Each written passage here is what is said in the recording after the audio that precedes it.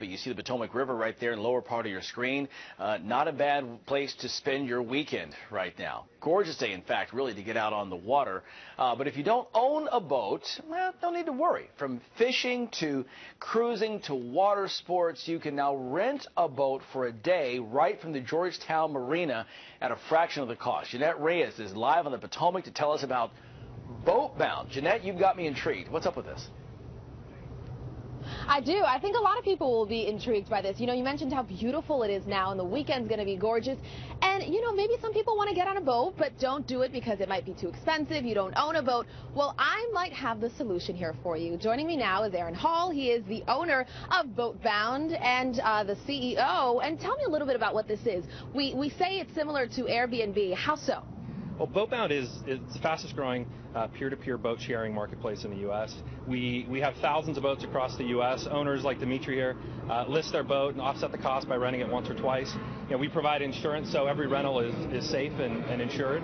Uh, and whether you have any experience or not, you can rent a boat you know, for a day, a week, or longer.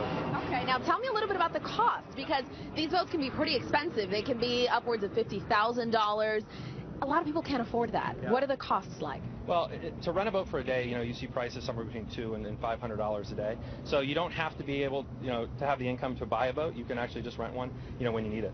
Now you could have the income, guys, because he was telling me uh, you could rent. Their most expensive rental is how much is it? Eighteen thousand dollars a day. We do. We have boats that rent all the way up to eighteen thousand dollars a day. The average boat rents about five hundred dollars a day, and you know, it's like me, we rent their boat somewhere between five and eight times a month. Okay, now we already have our photographer sold here, so you're probably wondering, how can I get in on this?